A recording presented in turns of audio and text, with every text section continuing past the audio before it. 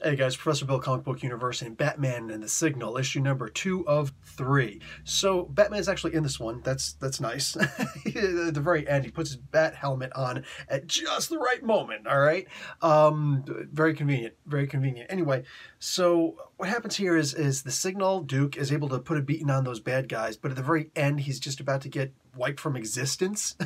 Somehow he wasn't able to see that coming.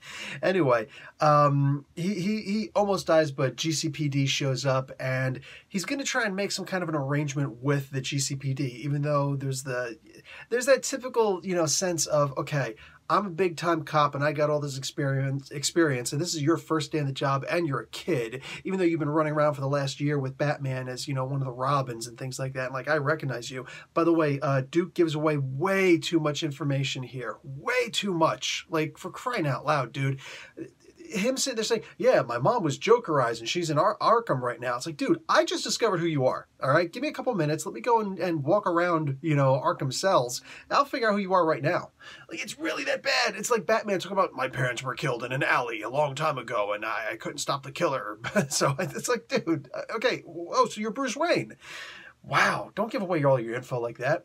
Anyway, um, the comic for the most part is pretty good. The the the the, the idea that there's uh, an, a metal that's a little bit weaker than nth metal inside of a lot of people and it's causing certain of those people to be amplified a lot to to so there's a, a version of the metagene out there and somebody actually has the windows, all of the windows in Gotham for the most part, so that it amplifies the sunlight. So whether you're outside or inside, you're still getting an ample amount of sunlight into you, and it's it's it's what is it? It's like filtered a certain way so that you're, uh, if you are going to react positively to these uh, these these genes in you, then you're going to become a meta. So that's pretty much what happened to the signal. That's what happened to Duke.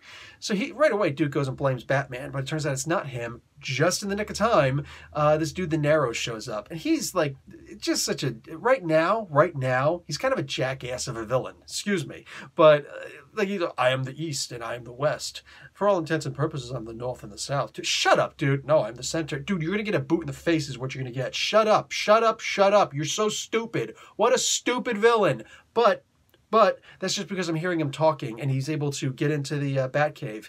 And on top of that, he's one of those villains who was like, I'm the architect, I'm the creator of Gotham. Really? Really? What about the Court of Owls? What about all the stuff that the Waynes have done? Uh, what about the the Silent Seven? Okay, what about like the uh, Ra's al Ghul and and his his whole you know operation? What about like all these different operations? Everybody claiming to be the architect of Gotham. Do we really need another architect of Gotham? So we've only gotten a quick, brief look at him. I guess this is in many ways this is kind of his first appearance, right?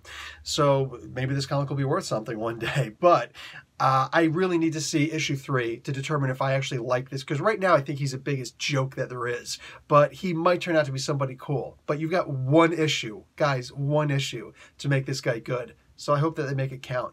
Right now I'm going to give this comic book a B. This was a pretty fun comic book, but there were there were some things that were really cool and some things that were really just like, am I really reading this? Is that actually what I'm looking at here? So it's a give and take with this comic book for me, you know? Uh, just I need this needs to have one heck of a resolution for me to be really, really excited about what's happening here. I was amped for this comic book. I was waiting for this trilogy, you know, comic book to come, and now that it's here, it's like, uh, okay. Anyway, yeah, I'm going to need to see a lot more on this to actually say this is a really good comic book. Anyway, for now, I'm still interested. I'm still interested, but don't leave me with a crappy ending. Just don't do that to me. Anyway, guys, Professor Bill Comic Book University, class dismissed.